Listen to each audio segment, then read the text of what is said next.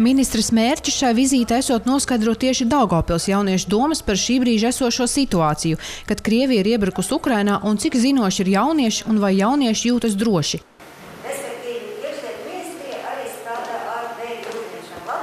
Vizītes laikā ministra tikās arī ar ukraiņu bēgļiem un apmeklēja Daugavpils pilsonības un migrāciju lietu pārvaldi. Ir arī plānots izveidot tādu IT sistēmu, kas ļauj saskaitīt visus Ukraiņas civiliedzīvotājus, kas pašlaik uzturās vai plāno uzturēties Latvijā.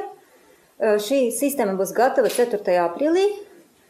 Nē, es atvainojos, viņa būs gatava 28. martā, bet līdz 4. aprīlim viņa tiks savadīti arī visi tie, kas pirms tam ir atbraukuši. Pēdējā laikā arvien biežāk izskan raizes par to, ka Daugopilī ir daudz tādu iedzīvotāju, kuri noskaņoti prokremliski un kuri neatbalsta Ukrainu.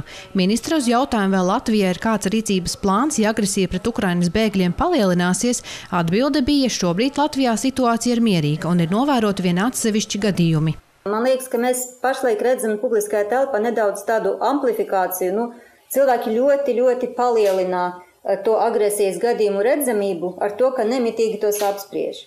Bet realitāte es saņemot gan policijas, gan citu dienestu atskaites, es neredzu, ka agresijas gadījumi ir ļoti daudz. Tie ir, bet to nav ļoti daudz.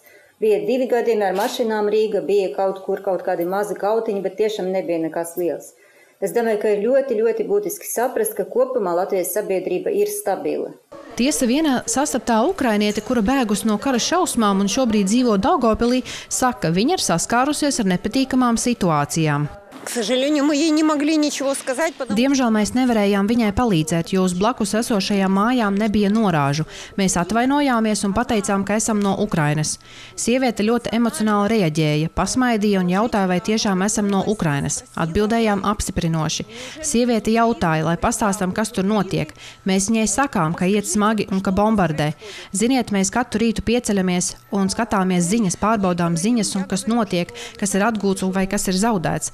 Un šī sieviete, dzirdot vārdu bombardē, jautāja: Sakiet, sakiet, kas vairāk bombardē - krievi vai banderavieši? Ministra arī atzīst, ka Latvijā šobrīd visticamāk ieradīsies vairāk nekā līdz šim prognozētie desmit tūkstoši bēgļi no Ukrainas. Turklāt pat laba norit diskusijas par pabalstu sekšanu brīvprātīgajiem iedzīvotājiem par bēgļu izmitināšanu. Sintīja Lukjanska, Aleksandrs Fedotovs, LRT+.